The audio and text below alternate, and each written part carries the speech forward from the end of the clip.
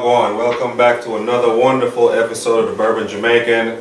Today we have a uh, wheated lineup from uh, various distilleries. It's a pretty stout lineup, and as Brady would say, it's a bourbon uh, budget, a budget wheated segment. Uh, you want to tell us what we got? Yeah, so we've got uh, makers coming in at 90 proof and about $25. Uh, Weller Special Reserve at 90 proof, $30. And I know that's hard to find in some places, but we're not too far from the distillery, so we can consistently get it at 30. The Old Elk's coming in at 92 proof, and it's about $40. And the Bardstown Bourbon Company is 100 proof, and it's coming in around $50. Um, these are all wheated bourbons because they're at least 51% corn and then the next dominant grain in the mash bill is wheat. So none of these are four grains, none of them have rye. They're all corn, wheat, malted barley, and we're going to be trying them all blind to see what the best value is. All right. Well, we starting from which end, Chris? Left to right. All right. So the first glass. So it's a good var- variety, you know, to bring to the table. Um, some people hate wheat, despise wheat, and some people enjoy wheat. So we're excited to bring you uh, what our what our palates are lining up. We we discussed prior to the video kind of what we thought was going to shake out. So it's always interested to see what our prior thoughts to to uh, actually tasting and seeing what our palates line up to for the night. So. This one to me has got some heavy caramel. My palate's a little off.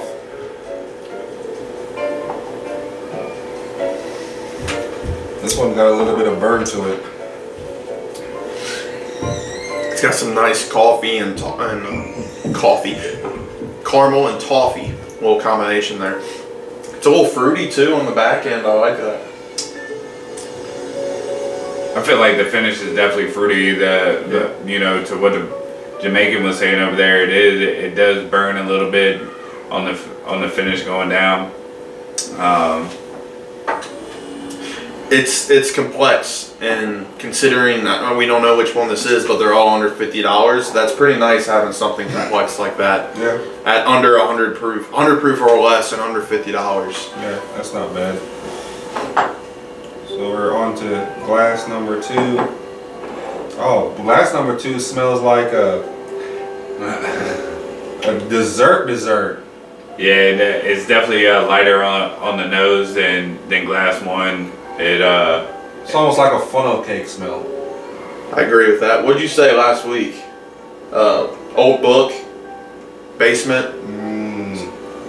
I get that dusty, really dusty Yeah, you old On gotta the book. taste you do taste like that. So when you drink it, it almost like a old grandma's old cellar down in the basement, dirt floor basement. what's crazy is I got a little oatmeal on it. Yeah.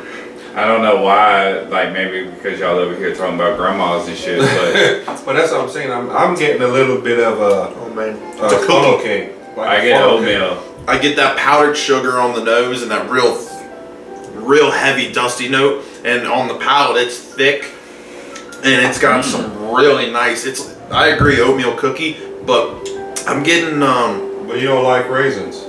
or Chris don't like raisins. I don't like raisins. I, I, I actually despise raisins. getting a little chocolate on the back end that I like. It's a really nice milk chocolate finish. Yeah, but it, Nice. it's got it's got that tongue coating that I enjoy on, on any kind of tasting of bourbon. Like it, For it- sure. it's definitely heavy on the tongue. And like Brady said on the back end, it definitely it gives you that chocolatey uh, dessert type of Oh yeah. finish. But I get oatmeal on the nose. Like I get the dusty book, and and you know you walk into kind of like a musty little basement or whatever, and you kind of get that smell of just old, Yeah. and that's a number two is definitely Yeah. ahead of number one.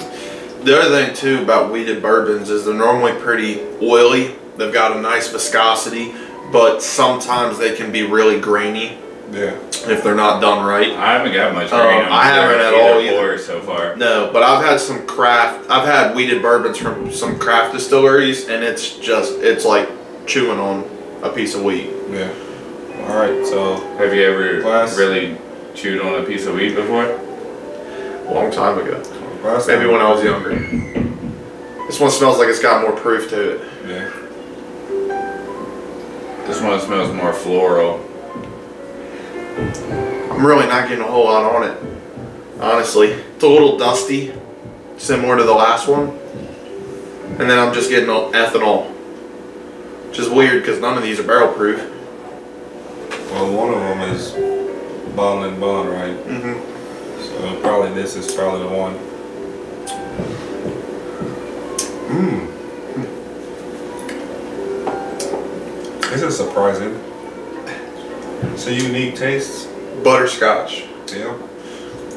Butterscotch, what a kick. But it's uh It's not as much viscosity as uh, glass No. number two. that one's the thinnest in my opinion. But it's got man, hug. Kentucky hug. I feel that one. I feel that one all the way down.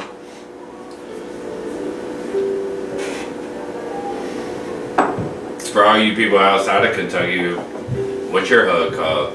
You know? like uh, that's uh, everybody's got their different little lingo or whatever. But uh, But definitely comment it. Comment in the section. Would you what you call that? That that burn. warm burn feeling in your chest, you know, because uh, we we got the whole cliche of the Kentucky hug here, and you know I've watched several different reviews for people, and each to each his own. Everybody's got their own little little saying there. So curious to what you guys call it.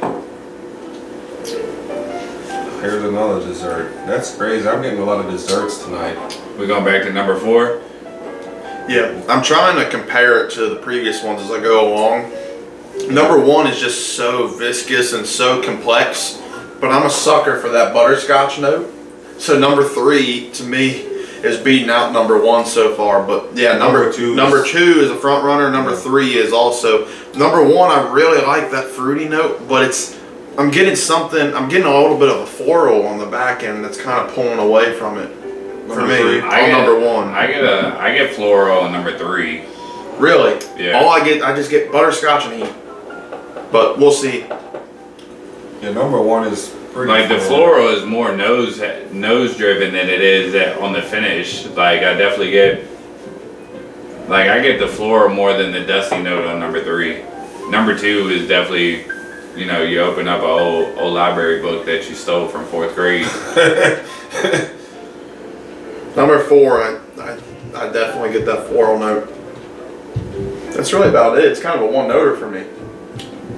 It tastes floral. It tastes like it got thyme in it, like a cooking spice thyme. I get a nice, like vanilla and oak. And then it goes floral for me. It's got a really nice viscosity though. Number three is the only one in my opinion that's thin. I'm not sure which one that is. Yeah, I felt like number one was a little thin for me, uh, for my taste. Um, I definitely agree. Number three is definitely thin, but number one was kind of kind of thin for me as well. Number four definitely feels like a, a, a Buffalo Trace glass, in my opinion. I've I told Chr- Chris before him. I've never been too impressed with Weller Special Reserve. I was really happy. I got my first bottle. Got it in Ohio for 25 bucks, and I was like, "Yes, let's go." They, you know, they mark them up for like 50 and 60 at the time, and I opened it, and I was like, "That that's a 25 dollar bottle." Yeah. Special Reserve put me on to wheated bourbons, to be honest. Uh, Yeah. Like when I first got in the game of, of chasing bourbon, it uh, I had the same reaction that Brady had. You know, I couldn't wait to call my buddies and tell them I got a Weller.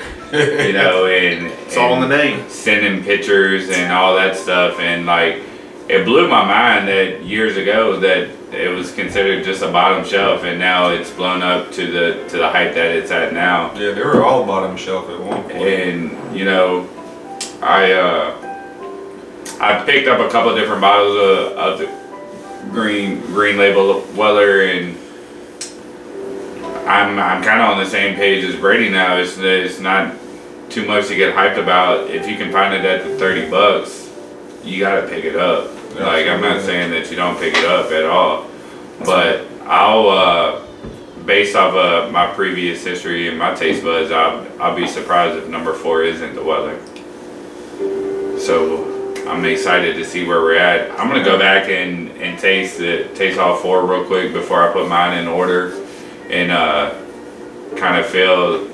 Right now, my number two Number two is. Number two is the front runner for me. I keep going back to number one, hoping that it tastes a little bit better than it did, but I'm kind of. I'm kind of at number three ahead of number number one. But I do I get I get like a chocolate sundae, like a banana split, kind of kind of nose on number one. I'm inching back and forth between four and one as my second favorite. But this has so much floral, but then this has so much more. Number one's got a lot of heat to it. It's funny, but stuff like this just goes to show that everybody's different, and it always makes me laugh when we do blinds like this. Because like number one, I didn't get a whole lot of heat at all, and I didn't get very much floral at all. Uh, to me, it was just it was like a caramel and like a cherry, and that's it. I mean, it was good, very viscous, but you know what I mean? It's like just because somebody says, "Hey, this bottle's worth three hundred dollars and it's the best thing I've ever had," doesn't mean it's gonna be the same for you. Yeah. You know?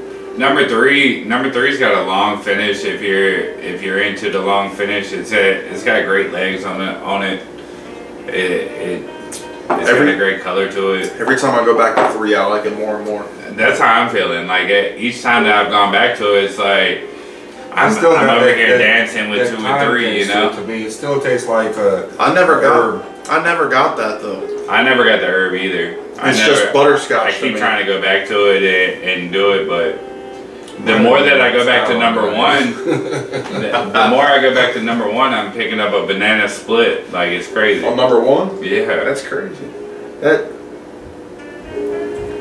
interesting. that's on the nose though. Like that's not what I, I feel like in the finish. But on the nose, it feels like I'm I'm, I'm back at uh at the at the first dairy in my hometown. Well, I think I got mine's Wish- lined out. Wish I knew what one was. I need I need one more sip. Number four.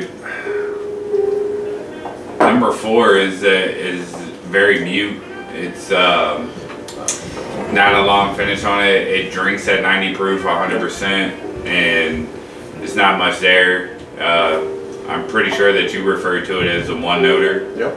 and Every single thing you just said, I completely agree with. like I, number four, it's not. It's it's definitely no complexity there. There's that. There's not that. Oh, what am I picking up this time when I go back to it? When I continue to go back to it, it's not. It doesn't impress me. I guess is what I'm trying to get at. So we're gonna all agree that pretty much number two, number four is our least favorite. Number two has been our most favorite. I'm, s- I'm still dancing between two and three. Chris is still deciding, but I told Chris beforehand my couple opinions were every time I predict a bond beforehand, it's the opposite. Sheldon thinks it's hilarious. I said that every time I drink Weller, I'm disappointed. So for my luck, it'll be in first. But Weller to me has always been a one noter. I think Weller's glass four. I told, but I I, the other the other thing I told Chris is I've been drinking a little bit of Makers recently, and it's really surprising to me because I Makers to me I don't ever buy it because I'm like ah it's shit, you know it's a bottom shelf bottle. But every but every time I've been drinking it the last couple months I'm like that's really good, Yeah. and I think that's I think that's either glass one or two. Well, the suspense is killing me. I'm I'm ready. not, I'm not ready yet. When I go back to number two, I picked up a cigar tobacco note. I got that on. Like when I went to glass number two, when I just went back to it, I got that like- on three.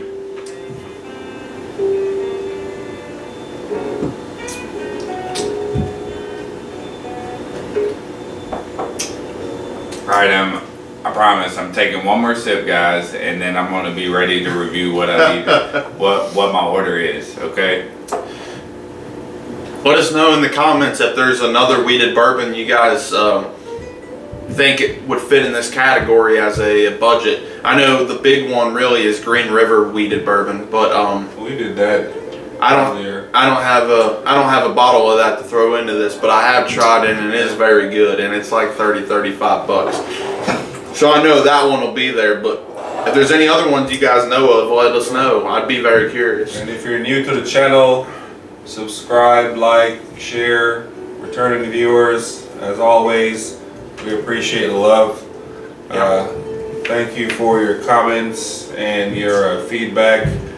I try to uh, reach out anytime somebody messages or talk talk to us. We try to hit you back as soon as possible and, and Yep. kind of talk talk with our audience a little bit. So we're uh, Not only friendly. not only talk to the audience, but you know if if any of you guys are growing and and doing your own thing on on your own channel, like I know that I reach out, I follow, I subscribe, and uh, and I I like videos and stuff like that. But with that being said, I uh, I did go ahead and, and rank mine, and um, So what do, you, what do you guys have in last place? Glass, Glass number, number four. four in last. We all have- we all have the- Weller. So we all put Weller in last place. So I'm glad I was right about that. But I would have been so mad if that was in first. So And, Weller. you, and what's uh, what's funny about that is like we all agreed that it was a one note kind of kind Yeah. of glass, and it, and that's what it drank to. It, it it literally did not did not impress me at all, and so I'm glad that prior to, prior to the video we had our own thoughts, and we all thought that that Weller would finish towards the bottom. So that's uh, that's good.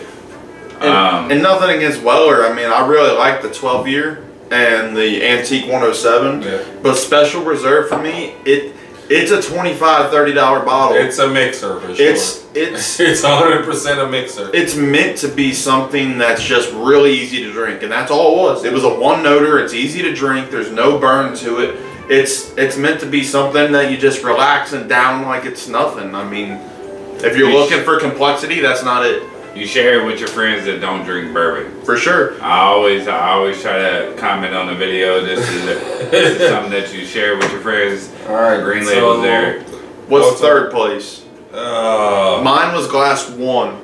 yeah. Mine was glass one as well. So everybody got glass one. Makers. Makers. I felt like it was the makers just because I got a sweet and a fruity note at the same time. But to me, everybody's everybody's different, like I said earlier. But when something hits the spot, it really does. That butterscotch note on glass three hit it for me, Yeah. and I'm excited to see what that one is. so I like I like that makers. I think I think that's a steal for the 25 Yeah. bucks or whatever it is for a fifth.